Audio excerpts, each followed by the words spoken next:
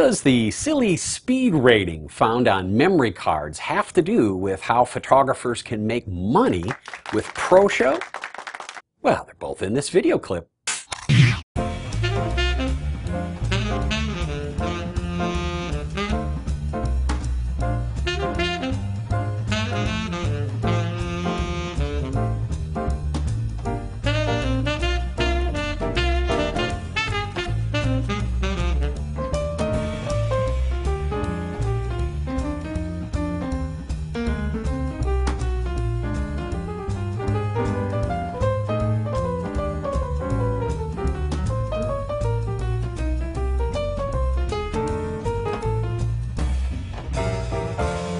Let's go ahead and create a show.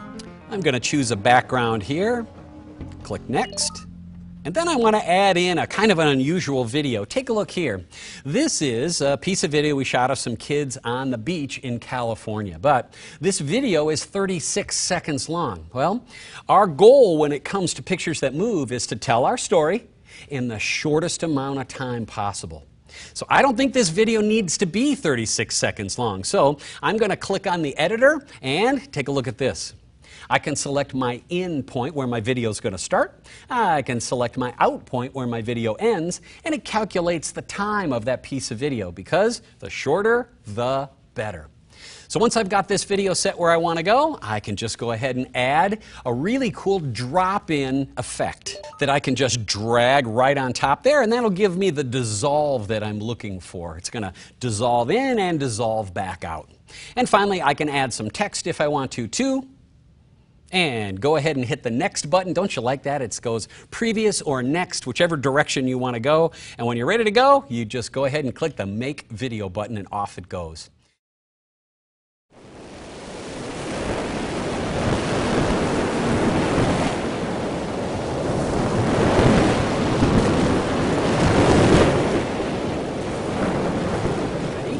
Five, six, seven minutes, of course, depending on how long your piece is. But what can you do with ProShow, ProShow Web? Wow, professional photographer Suzette Allen does some crazy good things with this. Take a look.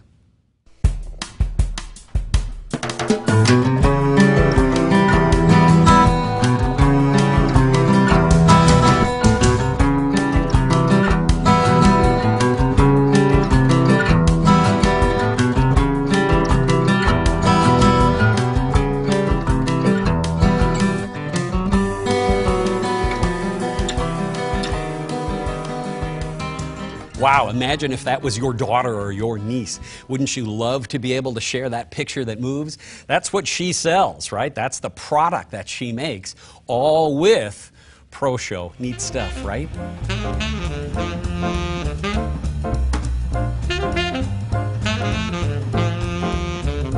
Memory cards are simple little storage boxes that can make your life miserable if they get mad at you. Here's how to keep memory cards happy. The SD cards, like most style of memory cards, have a capacity and a speed rating. Some card manufacturers like to fudge a little bit on their speed info. Actually, uh, some of them fudge a lot on their speed info, but they do want to make you think that you need some gold plated, super fast certified card. You probably don't. Most of that is just marketing hype. The more video that you shoot, the quicker you're going to fill up a card. So for shooting HD video, start with the 8 gig size card and work yourself up to the 16 gig cards. Skip the 4 gig and smaller. But as cards get bigger, plan on spending more money on cards. The speed of the card is really important. If it's too slow for reading and writing the data of your video inside your camera, it'll cause big problems. So you'll find a speed class number on most SD cards. Now, there's a ton of marketing nonsense surrounding these speed numbers, but here's the truth. If you shoot HD on your camera in the 720 size, use a card with a speed rating of 6 or higher. It'll be fine. Now, if you choose to shoot the chubby and luxurious 1080 HD, move up to a speed class of 8 or faster on your cards. Ready for the best tips ever on memory cards? Cool. Brand doesn't matter, just speed rating and size. When you buy a new memory card, put it in the camera you're going to use it in. Then Use the Format function in your camera setup menu to fully erase the card and get it ready for accepting data from that camera. Use your owner's manual or Google to find out how to format a card in your camera. Never pull a card out of one camera and put it into another camera and then shoot on that. It's gonna be a formula for disaster. If you want to use a card from this camera in this camera, be sure to take all the images off it first, then format that card, you get it here, into the second camera. It'll be just fine. If your card gets wet, no problem. Simply press it into a clean towel or a thick paper towel and let it air dry for six hours or so. Don't use heat to speed up the process. Do not use a hair dryer. Don't use a lighter. Don't stick it on a light bulb. Just chill out.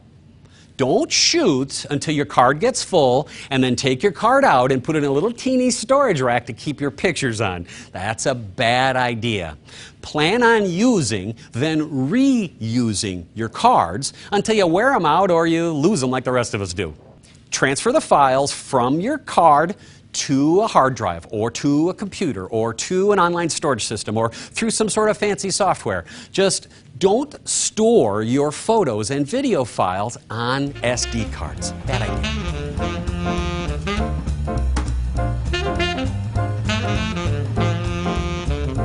Pretty good information, right? All of it works well with any of the ProShow products. More information like what you just saw on this DVD available at these websites.